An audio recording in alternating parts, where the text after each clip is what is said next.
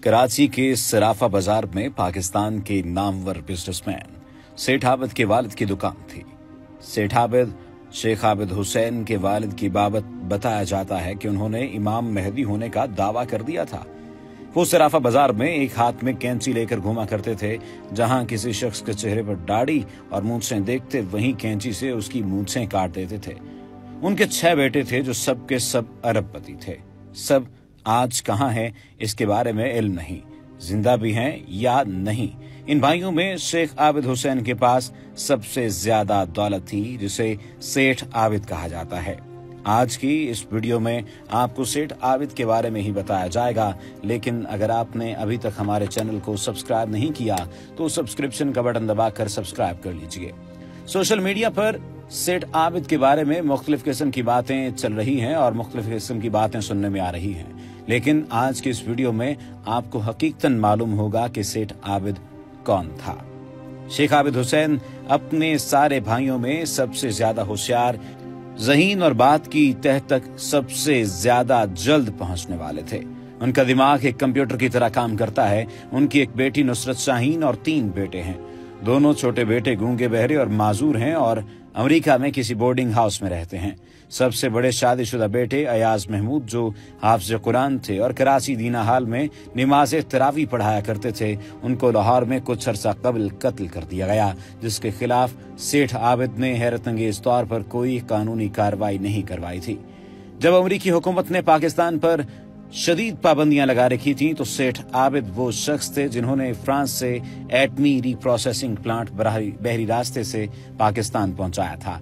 کس طرح سے پاکستان پہنچایا اور پاکستان ایٹمی طاقت کیسے بنا وہ بھی آج کی اس ویڈیو میں آپ کو بتایا جائے گا۔ جب ذوالفقار علی بھٹو پاکستان کے وزیر اعظم تھے، انہوں نے پانچ کروڑ روپے پیپلز پارٹی کے لیے بطور فنڈ سیٹھ عابد سے طلب کیے۔ انہوں نے دینے سے صاف انکار کر دیا۔ بھٹو صاحب کی ہدایت پر سیٹھ عابد کی گرفتاری کے لیے ہر جگہ چھاپے مارے گئے، لیکن وہ گرفتار نہیں ہو سکے۔ پھر کچھ فوجی ٹرک ان کے گھر کے سامنے آئے اور سیٹھ عابد کی اکلوتی بیٹی نصرت شاہین کو گرفتار کر لیا گیا۔ فوجی سیٹھ عابد کی صاحبزادی کو ٹرک میں بٹھا کر لے گئے۔ جب سیٹھ عابد کے علم میں یہ بات آئی تو انہوں نے لندن میں زیر تعلیم بے نظیر بھٹو کو اغوا کرا لیا۔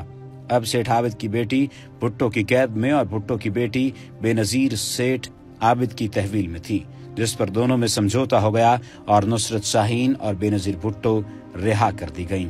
سوال یہ پیدا ہوتا ہے کہ یہ شخصیت کون تھی اور کس طرح سے کام کیا کرتی تھی اور تمام تر صورتحال میں کس طرح سے اتنی متوازن شخصیت کا یہ شخص حامل تھا۔ اس بارے میں ایک یادگار کے طور پر ایک شخص لکھتے ہیں کہ شیخ عابد حسین کے بارے میں ستار بھائی نے جو کچھ مجھے بتایا، اس کے بعد مجھے ان کے بارے میں جاننے کی مزید خواہش پیدا ہوتی چلی گئی۔ سب سے پہلے تو یہ کہ اپنے سارے بھائیوں میں وہ سب سے زیادہ ہوشیار، ذہین اور بات کی تہ تک فوراً پہنچنے والے ہیں۔ ان کا دماغ ایک کمپیوٹر کی طرح کام کرتا ہے۔ ان کی تصویر آج تک کسی نے نہیں دیکھی۔ پبلک ریلیشننگ کا انہیں سرے سے کوئی شوق نہیں۔ اللہ نے انہیں ایک بیٹی یعنی نصرت شاہین اور تینوں بیٹوں سے نوازا ہے۔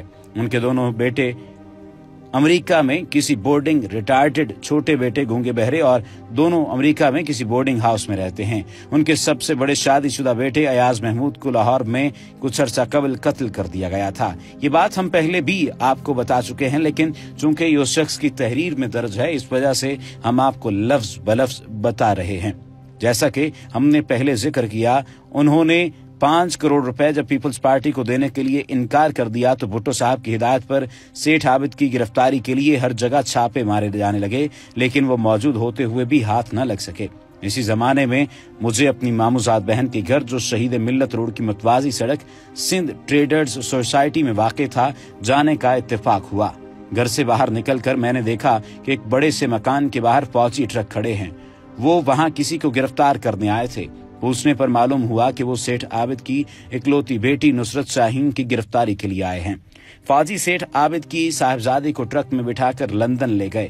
جب سیٹھ عابد کے علم میں یہ بات آئی تو انہوں نے لندن میں زیر تعلیم بے نظیر بھٹو کو اغوا کروا لیا۔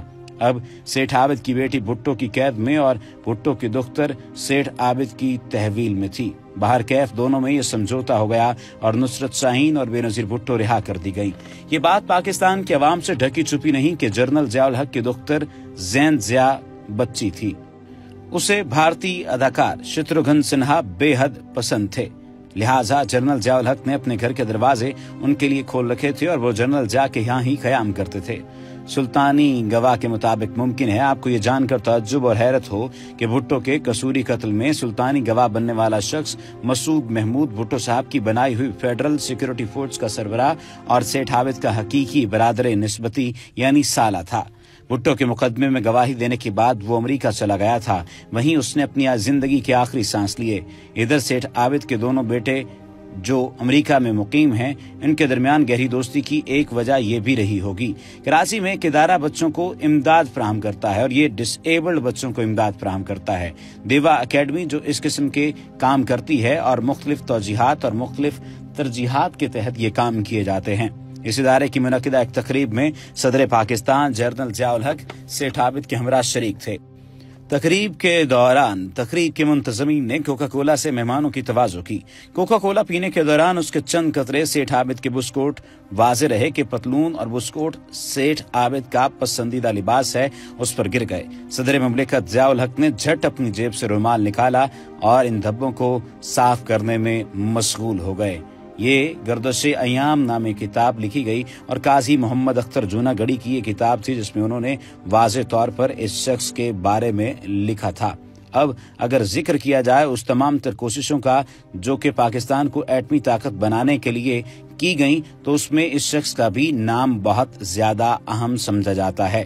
اگر بات کی جائے پاکستان کے ایٹمی پروگرام کی، تو پاکستان میں ایٹمی پروگرام کا آغاز انیس سو ساٹھ میں ہوا۔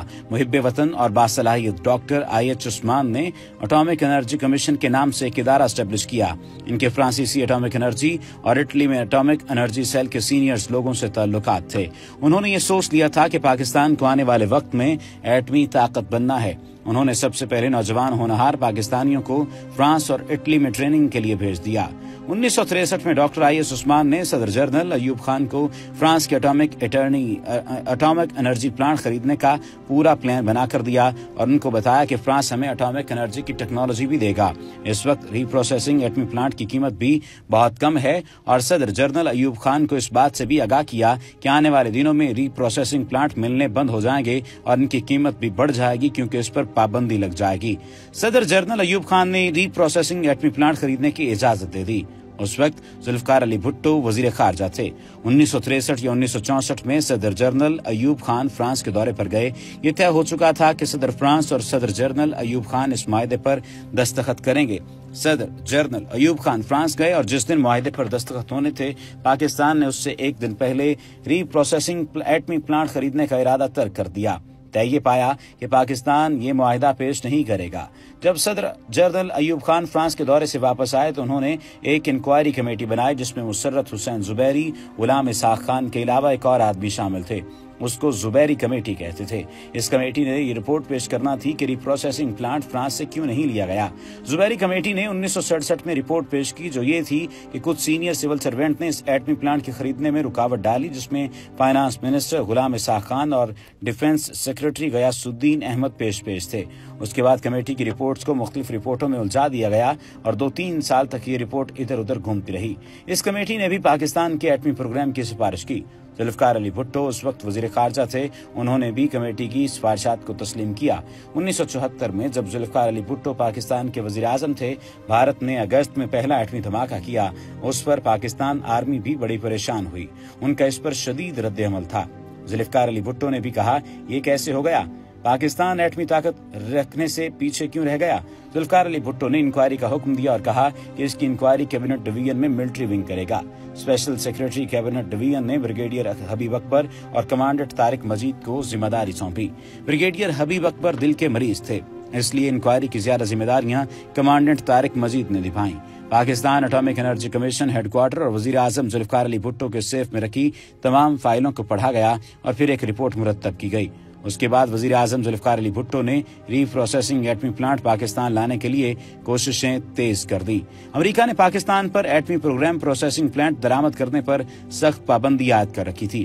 پاکستان میں ری پروسیسنگ ایٹمی پلانٹ لانے میں سیٹھ عابد حسین نے ذوالفقار علی بھٹو کی مدد کی۔ وہ بحری جہاز کے ذریعے ری پروسیسنگ ایٹمی پلانٹ پاکستان لے کر آئے۔ اکتیس مئی انیس سو چھہتر میں ذوالفقار علی بھٹو کی دعوت پر انجینئرنگ ریسرچ لیبارٹری یعنی پاکستان ایٹمی پروگرام میں حصہ لینے کے لیے ڈاکٹر عبد القدیر خان پاکستان آئے۔ بعد ازاں یکم مئی انیس سو اکیاسی میں جرنل ضیاء الحق نے اس ریسرچ لیبارٹری کا نام تبدیل کر کے doctor A Q Khan research laboratory رکھا۔ سائنسدان ڈاکٹر عبد القدیر خان نے ایٹم بم بنا کر پاکستان کا نام دنیا بھر میں روشن کر دیا۔ قائد عوام کا خطاب پانے والے پاکستان کے پہلے وزیر اعظم ذوالفقار علی بھٹو ہی وہ حکمران ہیں جنہوں نے ایٹمی پروگرام کو دوبارہ شروع کیا اور پاکستان کو ایٹمی طاقت بنانے کی ٹھان لی۔ لیکن یاد رہے کہ کہا جاتا ہے، تاریخ دان یہ لکھتے ہیں کہ جب جب ضرورت پڑی سیٹ عابد پاکستان کے کام آیا اور اگر سیٹ عابد نہ ہوتا تو شاید پاکستان ایٹمی طاقت نہ بنتا۔